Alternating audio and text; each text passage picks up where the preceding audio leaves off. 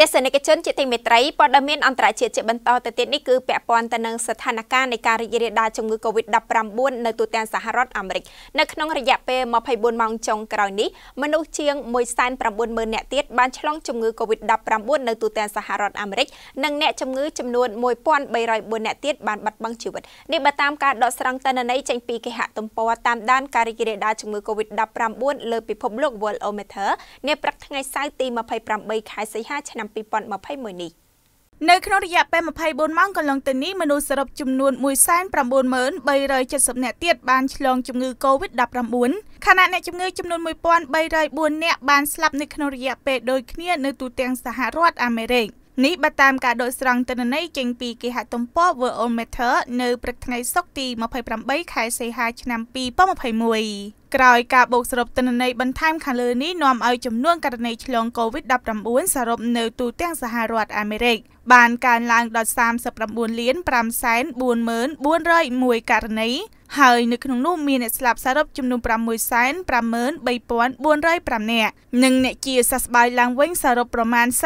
30.76លាននាក់ សម្រាប់ចំនួនប្រជាជនសរុបដែលកំពុងរស់នៅលើទឹកដីសហរដ្ឋអាមេរិកគឺមានចំនួន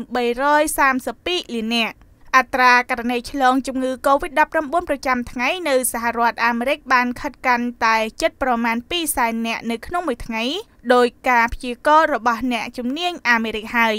ចំពោះមុខការស្ទុះងើបឡើងវិញនៅករណីឆ្លងនិងស្លាប់ជាប្រចាំថ្ងៃ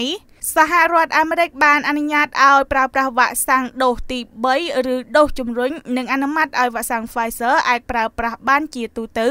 មិនមែនតែក្នុងករណីបន្ទាន់នោះឡើយគួរបញ្ជាក់ផងដែរថាគិតត្រឹមថ្ងៃទី27ខែសីហាឆ្នាំ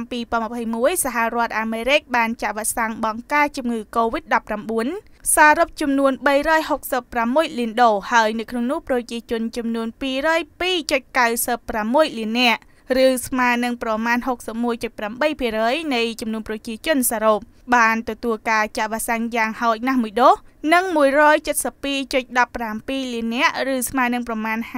52.5%បានទទួលការចាក់វ៉ាក់សាំងគ្រប់ចំនួនដូសកម្មវិធីនេះឧបត្ថម្ភដោយធនាគារ Acilida Acilida Mobile លើពីកាបូបលុយផ្ទាល់ខ្លួន មានសេវាធ្វើប្រតិបត្តិការយ៉ាងសម្បូរបែប